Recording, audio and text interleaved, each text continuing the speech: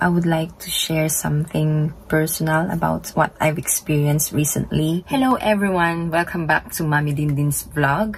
Uh, first of all, I would like to say thank you for my new subscribers from Bimbo Cornejo Vlog. I feel the love. thank you so much for your messages, for your greetings. Nababasa ko po yun lahat. Uh, maraming maraming salamat po. I made new friends. uh, nakaka-surprise. Parang ngayon, mas lalong nakaka-encourage na mag-vlog, mag-edit because of all your um, messages, you know. Uh, it gives me hope I made new friends from around the world. I'm happy. Kasi nakaka-stress free din siya. Parang break sa pagiging housewife or pagiging mother of three kids. Yeah, there's this thing that um, I've been anxious about for these couple of um, weeks that I would like to share to you guys to raise an awareness as well na rin na something that uh, I recently experienced. Yes, uh, I had a blood test done for my left kidney just to make sure that it's been working okay. Uh, there's these um, vitamins that I recently took. Tablet siya na dinidissolve sa water. Tapos, after a couple of hours, I took a Well Woman Energy Multivitamins. Uh, I, I thought I need it para makakip up sa sa pagka-hyper or sa pagka-energetic ng mga kids ko. After taking them for two days, biglang I had a pain on my left back side where your left kidney is under my ribs. It's very uncomfortable. It's very uneasy. Yung parang hindi ako mapakali. Yun. So, I thought, why not ask some advice from a doctor?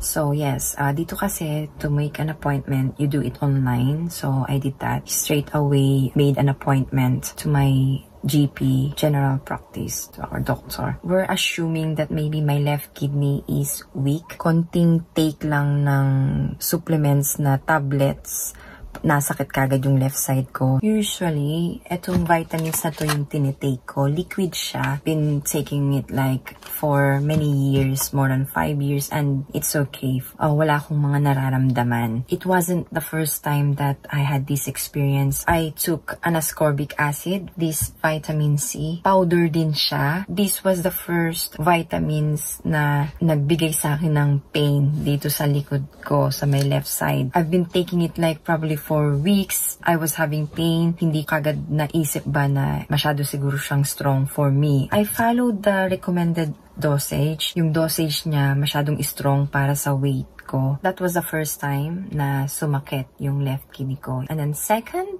when I took a glutathione supplement. Kasi nauso si glutathione. Hindi lang dahil sa nauso siya. It's because parang mas dark yung forehead ko than other area of my face. My husband even mentioned na, oh, akala ko balat lang yan yung forehead mo. Kasi yung buong forehead ko, uh, mas okay-okay na nga siya ngayon.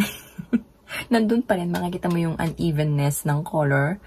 Um, mas dark yung forehead ko than on other parts of my face. Again, nag-occur na naman na sumakit yung left backside ko. Left kidney din ulit. So, siguro uh, weak yung left kidney ko. Bakit siya yung laging sumasakit? I like eating nuts. Different types of nuts. Probably three times a week. Dapat mga handful nyo lang yung, yung nuts. Can't eat too much. Kasi yes, it's bad for your kidney. So, I wasn't aware of that. Anything too much is bad anyway. It scared me, you know, for this couple of um weeks, of course, I've got three kids. I'm thinking worst. You know, we're always like that. Thankfully, thank God, thanks be to God, came out normal.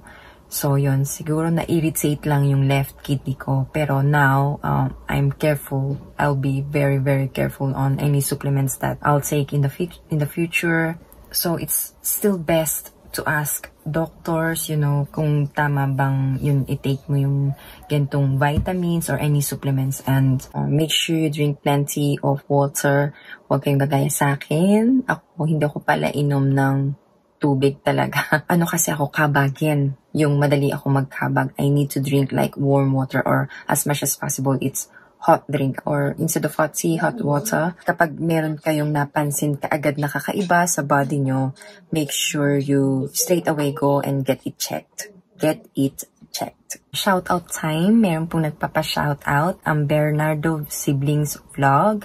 Hello sa inyong magkakapatid. Uh, and shoutout also sa mga hindi ko po na na-replyan sa mga comments nyo sa previous videos ko. Maraming maraming salamat po from the bottom of my heart. I've been reading your messages. It's still coming through. Yes, so now it's time for me to say goodbye. I, we're off to London. It's already half seven in the evening. We're staying there during the school break. And again, thank you, thank you, thank you. Maraming maraming salamat po sa inyo pong pag-subscribe. Hanggang sa muli and take care.